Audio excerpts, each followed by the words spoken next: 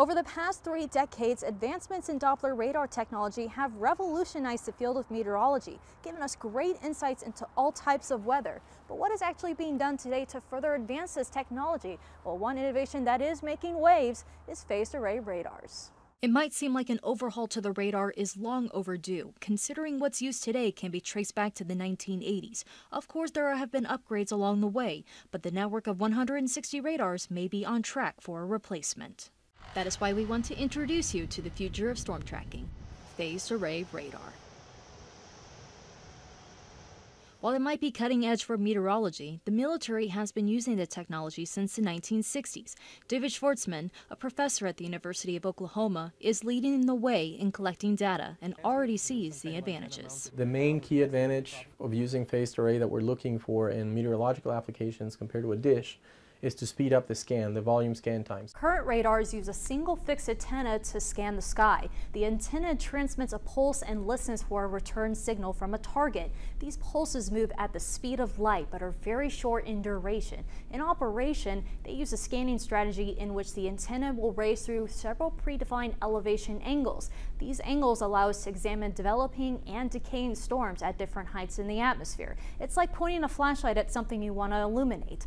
Unlike current current radars, phased array radars utilize many small antennas that can be electronically controlled to steer the radar beam without physically moving the device. This is very helpful when we want to look at two different storms without having to waste any time scanning between the storms.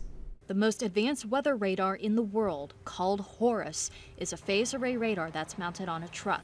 It's capable of obtaining data with the highest quality and resolution to not only look deeper into thunderstorms, but to capture never before seen occurrences on radar. The most recent innovations that we've discovered is uh, we have never actually been able to see uh, lightning flashes uh, in the radar data. Uh, we've seen some small reflections from the lightning plasma. Occasionally we could catch it with a dish radar, uh, very like just sporadically, not really fast. Uh, but with the phased array, when we can scan a whole uh, vertical column in less than one second, uh, we've been seeing entire lightning flashes and plasma reflection structures uh, in the data in real time. Time is of the essence when it comes to tracking storms, and that is just another huge advantage of this radar. So instead of having five minute volume scan times, we want to have 30 second full volume scan times.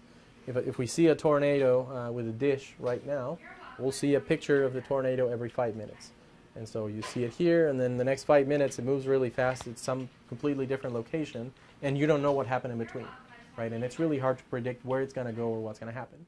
So if we could see it every 30 seconds, or maybe even less, every five seconds, uh, you know, we see a very smooth flowing movie uh, where we can understand the physics of what's happening with the storm and where it's going and predict and anticipate um, severe weather a lot better faster scans, and more data, all in an effort to help understand thunderstorms and provide more advanced warnings, even if it takes another decade before it's ready for daily use. I think phased array is definitely the future.